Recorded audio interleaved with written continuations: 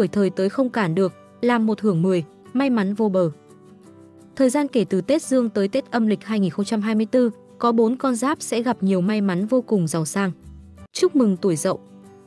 Theo tử vi 12 con giáp, người tuổi Dậu rất tốt với mọi bạn bè xung quanh. Họ cũng rất ủng hộ sự nghiệp của gia đình, điều này cũng có thể thúc đẩy sự nghiệp của họ phát triển thuận lợi. Từ tháng 1 dương đến Tết Nguyên đán, sự nghiệp của con giáp tuổi Dậu sẽ thuận buồm xuôi gió. Với năng lực xuất sắc, bất kể lúc nào, đi đến đâu, con giáp này cũng nổi bật.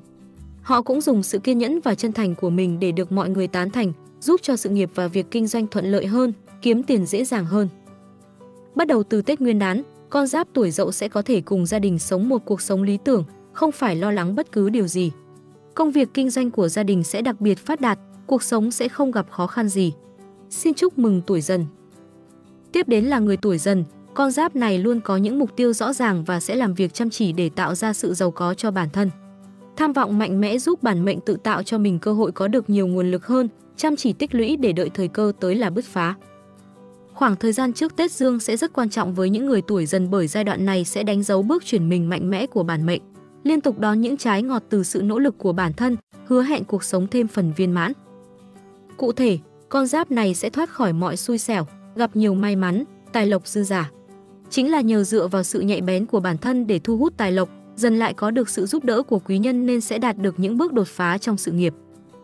Nhờ nỗ lực không ngừng, hiệu quả công việc của họ sẽ được cải thiện rất nhiều, thân tài chiếu mệnh thì tiền bạc khỏi cần lo. Tuổi dân sẽ có nguồn tài chính dồi dào và trở nên giàu có, điều này thực sự đáng ghen tị. Xin chúc mừng tuổi ngọ. Tuổi ngọ sinh ra đã có trí tuệ tuyệt vời và tầm nhìn rất tốt. Họ có thể đạt được sự giàu có lớn không chỉ nhờ năng lực mà còn nhờ vào sự may mắn trong cuộc sống. Dẫu vậy, người tuổi ngọ là kiểu người ham học hỏi và ưa khám phá.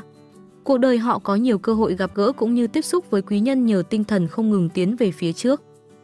Kể từ nay tới Tết âm 2024, vận may ập đến, thần tài ghé cửa mang đến cho người tuổi ngọ một số cơ hội về tài lộc. Nói cách khác, các dự án cũng như kế hoạch của người tuổi ngọ sẽ dễ đạt được thành công, cũng như tài lộc thu về sẽ ổn định hơn bình thường. Thêm vào đó, sự nhanh nhạy của người tuổi ngọ cũng giúp bản thân mở rộng các cơ hội này, không chỉ kiếm được món lợi trước mắt mà còn đặt nền móng lâu dài. Như vậy, người tuổi ngọ sẽ nắm chặt cơ hội để kiếm được nhiều tiền nhất có thể. Và đương nhiên, một cái Tết ấm no cũng đang đợi người tuổi ngọ sung vầy cùng với tài lộc dồi dào phía trước. Xin chúc mừng tuổi Tuất. Theo tử vi 12 con giáp, cứ 10 người tuổi Tuất thì hết 9 người rất chăm chỉ và ít nói.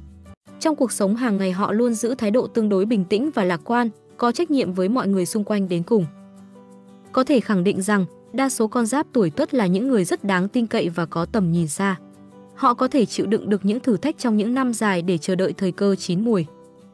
Tính cách của họ rất vui vẻ và hào phóng, giỏi giang trong mọi việc. Con giáp tuổi tuất rất đáng tin cậy, gây ấn tượng tốt với nhiều người. Những sự ủng hộ này cũng giúp ích nhiều cho công việc của họ, nâng cao tốc độ thăng tiến. Sự nghiệp của những người này một đường thẳng tiến, không có khó khăn cản bước. Từ nay đến Tết Nguyên đán, phần thưởng của con giáp tuổi tuất rất phong phú, cuộc sống của họ bớt căng thẳng hơn. Tương lai, mỗi ngày và mỗi năm, họ đều sẽ có nhiều sự phát triển lý tưởng hơn.